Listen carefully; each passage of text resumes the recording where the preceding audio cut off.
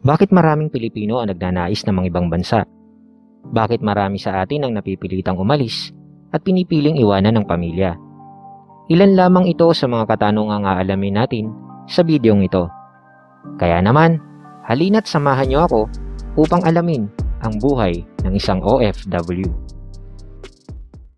Yo, yo, yo! What's up guys? Kumpare, kumare, amigo, amiga, ate, kuya, mga chismosa at hindi. Kamusta kayo dyan? Kapayapaan lamang, ito ang tanging hiling ko para sa lahat. Ito nga palang inyong lingkod na si Archad TV na nagsasabing, Minsan, sa dami ng problema, gusto kong umiyak at tumakbo sa malayong malayo. Kaso as usual, tinatamad ako.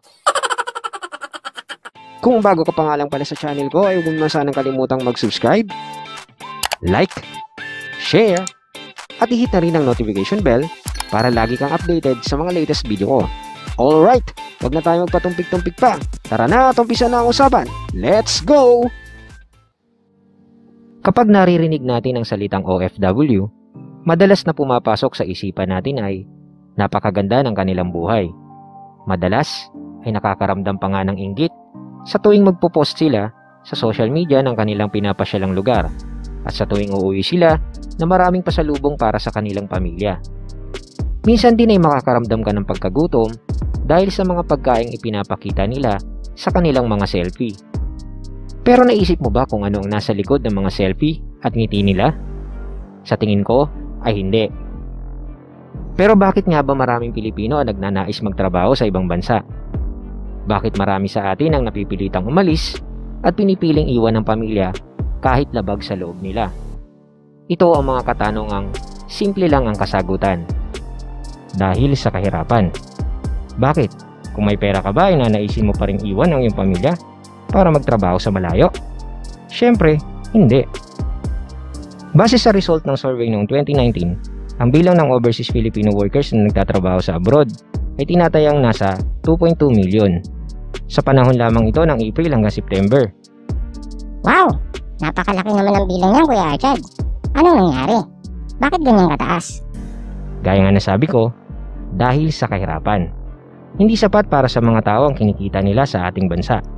Bukod sa tumataas na gasolina, bukod sa tumataas na bilihin, bukod sa tumataas na tuition fee, at marami pang iba, ay hindi na talaga sapat para sa isang pamilya. Yung isa na nga lang ang anak mo ay hirap na hirap na silang buhayin. Paano pa kaya yung malaki ang pamilya? Kaya, hindi mo sila masisisi kung umalis man sila. At doon sa ibang bansa, magbaka sakali ng swerte. Pero hindi lahat ng nangingibang bansa ay nagkakaroon ng swerte. Dahil ang ilan sa kanila ay hindi pinapalad. Andyan yung mapupunta ka sa ng mamaltratong amo at andyan din yung niloko sa kontrata ng agency mo. Sasabihin, ito ang trabaho at sahod. Pero pagdating sa bansang pupuntahan, ay iba pala mapapasukan. Ilan lamang yan sa mga sinapit ng mga bayani nating OFW.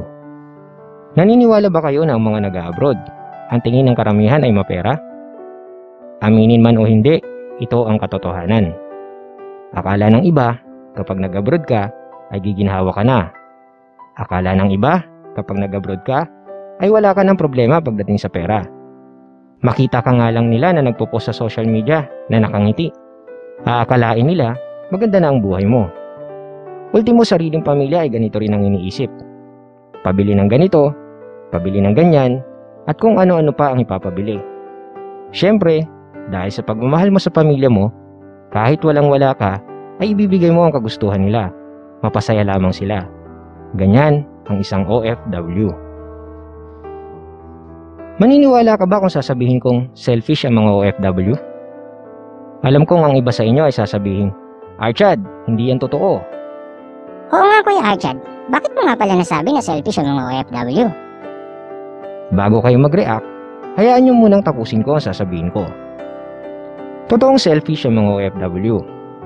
Selfish sila dahil hindi nila matanggihan ng pamilya kapag nangihingi.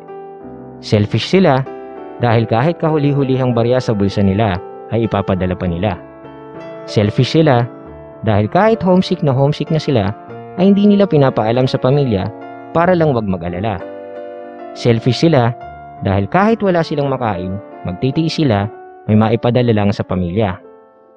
Selfish sila dahil kahit tad sila ng pasa, bukol, at pananakit ng katawan dahil napunta sila sa demonyong amo ay tinitiis nila para sa pamilya.